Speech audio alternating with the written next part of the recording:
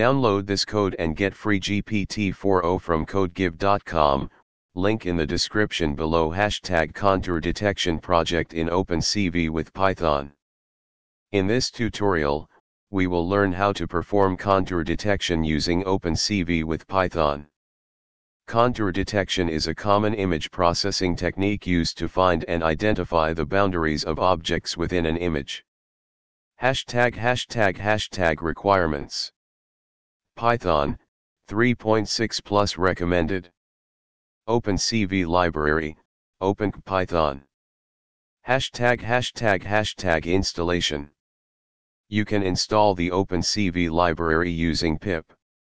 Hashtag hashtag hashtag steps to perform contour detection.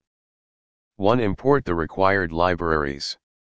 2. Load the image. 3. Convert the image to grayscale. 4. Perform thresholding, optional, can be useful to simplify the image. 5. Find contours in the image. 6. Draw the contours on the image. 7. Display the contour image. Hashtag hashtag hashtag full code example. This code snippet demonstrates how to perform contour detection using OpenCV.